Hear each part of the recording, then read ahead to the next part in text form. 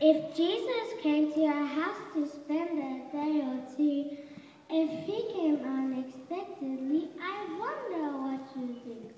Oh, I know. You give your nicest room to such an honored guest, and all of which you serve to him would be the very best.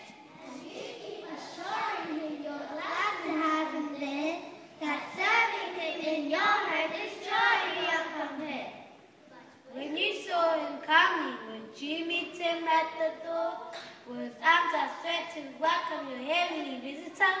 Or would you have to change your clothes before you let him in? Or hide some magazines and put the Bibles where they be? Turn off the radio and hope he hadn't heard and wish he hadn't answered that.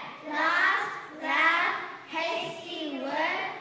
Would you hide your worthy music and put some hymns out? Could you let Jesus walk right in, or would you rush about?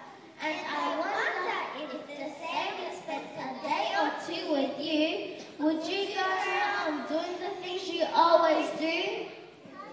To say the things you always say, would like you as it does from day.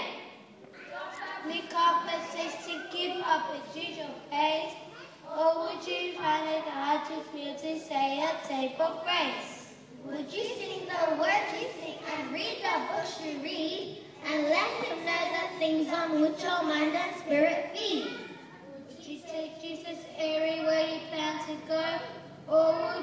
Maybe change your plans for just a day or so? Would you be glad to have him meet your very closest friends? Or would you hope to stay away until his visit ends? Would you be glad to have stay forever on and on? Or would you sigh with great relief when he at last was gone? It might be interesting to know the things that you would do if Jesus Christ in person came to spend some time with you. Thank you. Very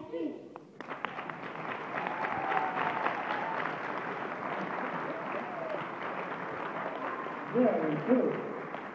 Thank you, Mrs. Garcia, and Faith, Miss Furlong, and all the students. You've done so well. You've given us a big challenge here. You've got to go back and think. Would you, oh boy, as a challenge from the students now. I thought uh, the adults were doing the challenge.